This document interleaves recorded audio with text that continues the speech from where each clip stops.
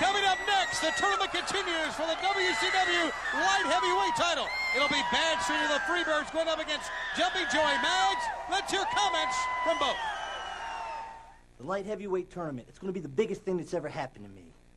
Badstreet, I've got you in the first round. Brother, give me your best because I'm going to make the most of it.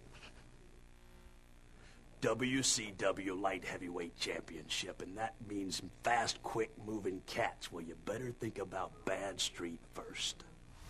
Ladies and gentlemen, the following contest is part of the light heavyweight tournament. Introducing first from Badstreet, USA in Atlanta, Georgia, 226 pounds, a member of the fabulous Freebird family, Bad Street. His opponent from Baltimore, Maryland, 227 pounds, jumping Joey Maggs.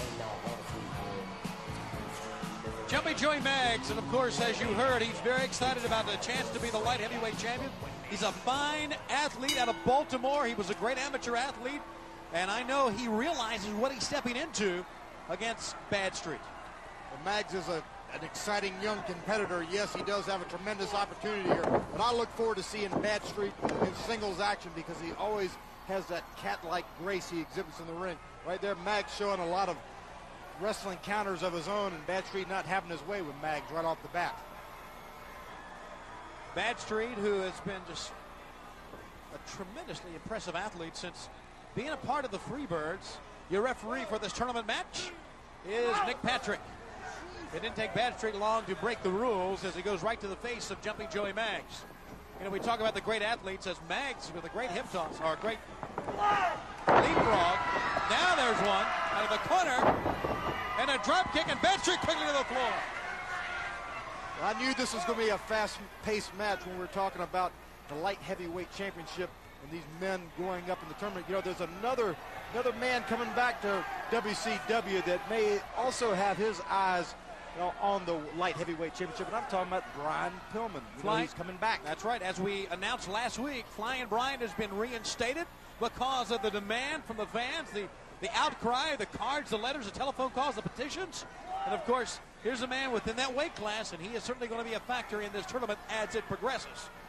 Well, this is the weight class of high flyers, and I'd, I'd love to see a matchup. I'd like to see Badstreet and Flying Brian Pillman down the road somewhere. So would I. Top wrist lock as Joey Maggs goes to a side headlock. Great wrestling right here. I don't know if Badstreet's going to get past Joey Maggs. I better stop counting the chickens before they're hatched. Right to the hair. Well, if he does, you know he'll use every trick in the book to advance here.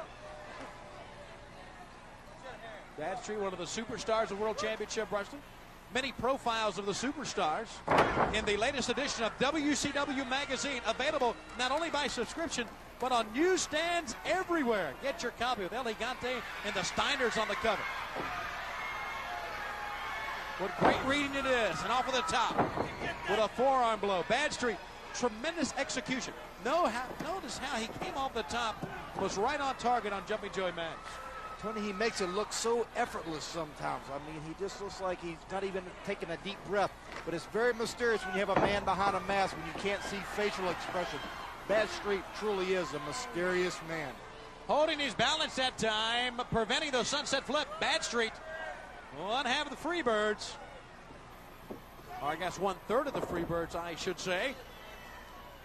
Firmly puts a boot to Jumpy Joey Maggs. It's by the high impact maneuvers and the counter wrestling ability that Badstreet has the advantage right now. Oh. Great elevation on that drop kick.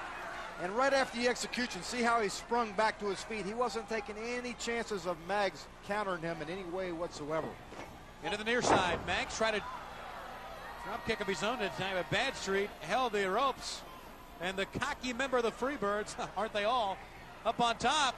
This may be the 9-1-1, which is like a DDT off the middle. Oh, wow. He really put it on him. And yes, he should be out from this one. Badstreet will advance. Ladies and gentlemen, advancing in the light heavyweight tournament, Badstreet.